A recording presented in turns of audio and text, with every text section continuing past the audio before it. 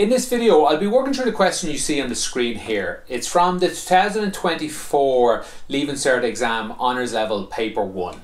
If you're looking for a different question from that paper, you should be able to find a playlist in the description below. I'll be doing all this on a whiteboard, hopefully so it's similar to what you're used to your teacher doing. But it's we're not in a classroom, we're on YouTube, so take advantage, pause, rewind, stop, rewatch, all those things you can do on YouTube.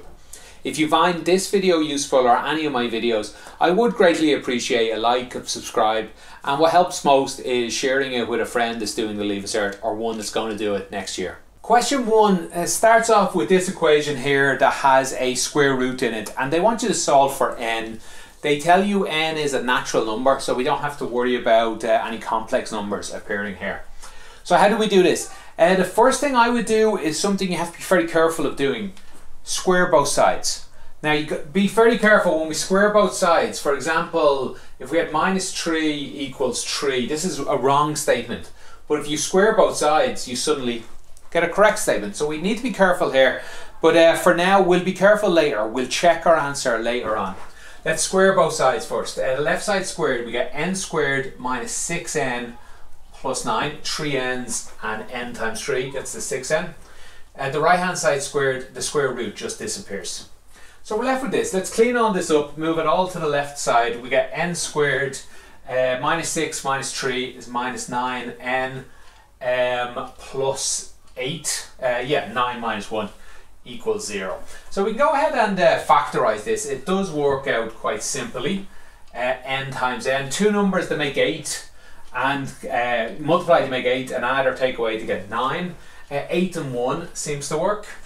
Um, if they're both minus, they'll multiply for a plus and they'll take away from minus 9. So we get two answers here. n is equal to 1 and n is equal to 8. If you leave it as this though, you're going to lose a mark. I probably lose a couple of marks there. Um, so, so what do you do? Let's test our answer. It's something we should do on every question. Test your answer. n equals 1, n equals 8. Let's test this one first. If I put it back in here, does it make sense? 8 minus 3 is 5. Let's write here. 5. Um, 3 eighths is 24. 24 plus 1, square root 25. This one makes sense. That's good. Let's put 1 in. Uh, 1 minus 3, minus 2. Uh, you can stop here if you want, because minus 2 could never equal the square root of something. So I could stop right there, but let's continue on. Uh, three ones are 3 plus that square root of 4 minus 2 is equal to. So this one's not right. So you have to tell the examiner that's not right. Just if they see something like this written, or if they just see an extra, you're fine. But still, show them why you taught that. Even write in English why you taught that. For part B, they asked us to write these two expressions as a single fraction. Uh, to do that, we just need to find a common denominator, and the easiest one, well, I don't see one, um, a tricky one. So the easiest one is to cross multiply. Um, so on the left hand side, we'll have 4 times 12t, and on the bottom row, we'll have 2 plus 1 times 12t. So we're, we're being equal here on the left. Same way, sorry, minus, uh, same way here on the right, we'll have 7 multiplied by 2t plus 1 divided by 12t multiplied by 2t plus 1. So the bottom rows now become the same and uh, this equals over here we'll have on the top 48t um, minus 14t minus 7 all that is over whichever one of these you want. 12t 2t plus 1 and uh, that I guess that's technically the answer they want but uh, we should clean it up a little bit.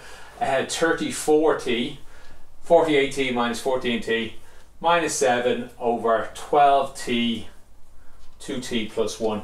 Um, that seems way too simple for a part B question, so I'm not sure if I'm misreading something uh, because I don't have the marking scheme in front of me. So apologies if I've done something terribly stupid here. Uh, let me know in the comments if, um, if I've done something wrong. Anyway, on to part C. In part C, they ask us to solve this uh, three variable simultaneous equation in x, y, and w. There's three equations, three unknowns. This is a lot more difficult than um, your when you have uh, two equations with two unknowns. But still, it's not too bad. This one they've set it up so to be neat enough for you. So here's what you do: you pick any two lines you want, and you destroy something. Um, and they've set it up so you can only, if you pick the first and the second, the only thing they've common is the y. So you can only destroy the y. If you pick second and third, they have the w in common. You can destroy that.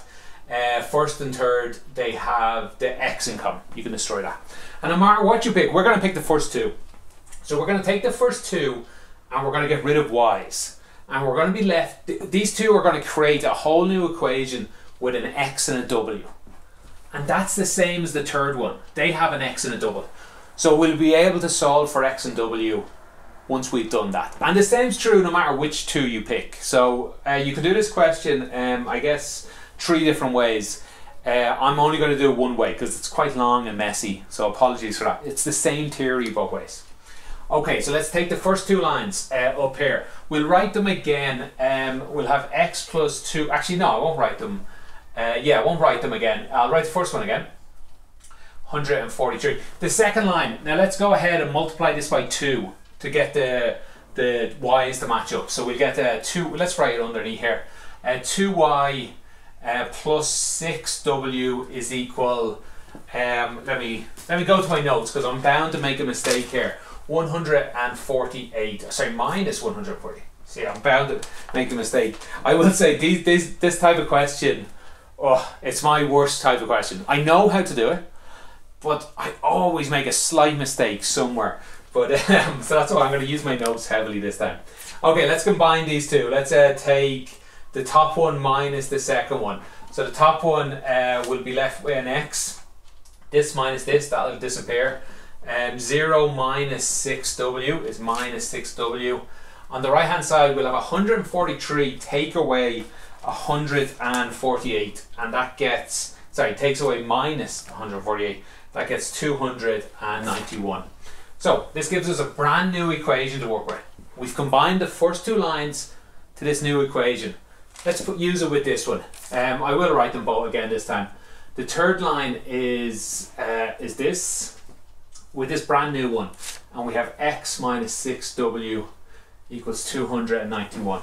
So now we're, we've just gone back to a simple um, simultaneous equation that you've done since junior cert. Let's uh, let's multiply the second line by four to match these x's. So we get four x uh, minus uh, twenty four w equals uh, this times four is one hundred and one thousand one hundred and sixty four.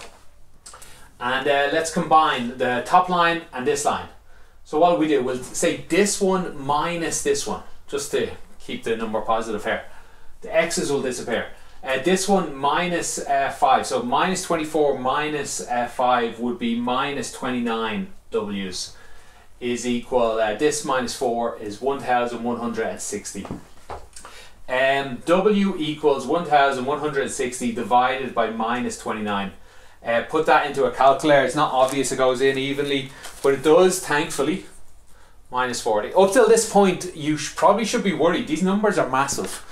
Um, and that's the problem with three variable uh, simultaneous equations. The numbers can get weird and and massive.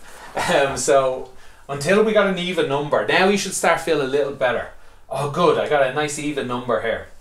Now I've planned this terribly. I've no room left. Let me try and squeeze some things in here. So now I know what W is. Let's uh, let's pick this line here and find x. So we get 4x uh, plus uh, 5 minus 40s is minus 200 equals 4. That's uh, 4x is equal 204. That's x is it goes in 50 and another 1, 51. Let me check my notes. Yeah, that's x. And um, now we know x, let's find y. Here's the top line here.